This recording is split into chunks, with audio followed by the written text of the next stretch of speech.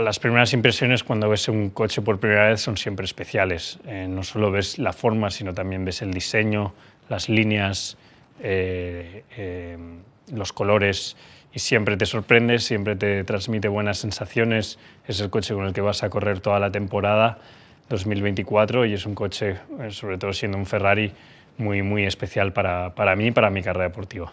Por supuesto que al final los pilotos tenemos una influencia en el diseño del coche, pero más que nada es feedback técnico que tenemos que dar a los ingenieros, que queremos que el coche nos transmita ciertas sensaciones cuando lo conducimos para darnos confianza y saber extraer el máximo potencial y luego los ingenieros se encargan ¿no? de, de, diseñar piezas y de, y de probar cosas en el túnel de viento y en el simulador para que el coche sea capaz de producir eso que nosotros pedimos.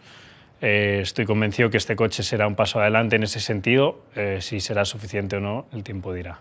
Sí, yo ya he tenido obviamente el placer de conducir el coche en el simulador ya bastantes veces. Eh, una cosa es lo que pasa en el simulador, otra cosa siempre es lo que sucede en pista, pero las primeras sensaciones en el simulador son buenas, sobre todo porque el coche sí que se siente diferente al del año pasado. Eh, se conduce también de manera un poco diferente, tiene cosas bastante diferentes a la hora de conducirlo y de, crear el setup, así que esperemos que, eso nos permita estar un poco más adelante este año.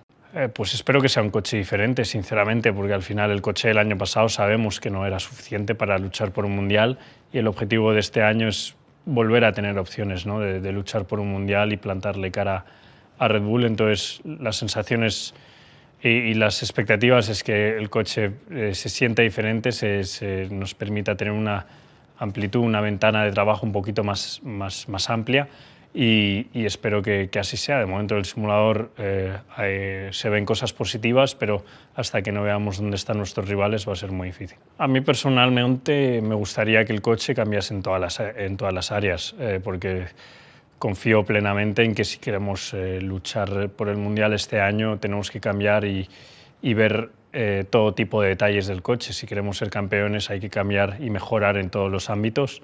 Em, la cosa principal no era el ritmo de carrera del año pasado y sobre todo la, la, manejabilidad del coche, ¿no? cuánto de fácil es conducirlo, que a principios del año pasado tuvimos muchos problemas y, y era muy difícil de llevar y este año pues esperamos partir de una mejor base. La lógica me dice que sí, que deberíamos estar todos todavía más juntos de lo que estábamos el año pasado. El año pasado, la segunda mitad de temporada, me acuerdo muchas Q1, Q2, que estábamos toda la parrilla dentro de un segundo y eso hacía muchos años que no pasaba en la Fórmula 1. Por lo tanto, hay que estar atentos, hay que asumir que la parrilla se va a concentrar todavía más y por eso hay que... Eh, hay que centrarse en todos los pequeños detalles que puedan marcar la diferencia. Bueno, simplemente me gustaría mandar un mensaje de agradecimiento a todos los tifosi, ¿no? no solo por todo el apoyo recibido estos años en Ferrari, sino por todo lo que todavía queda por venir.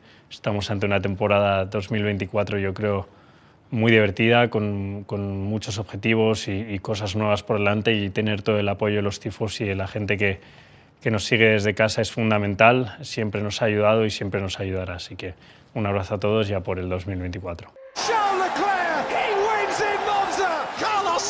is the winner of the Singapore Grand Prix. La vittoria più importante è quella che devo ancora conseguire.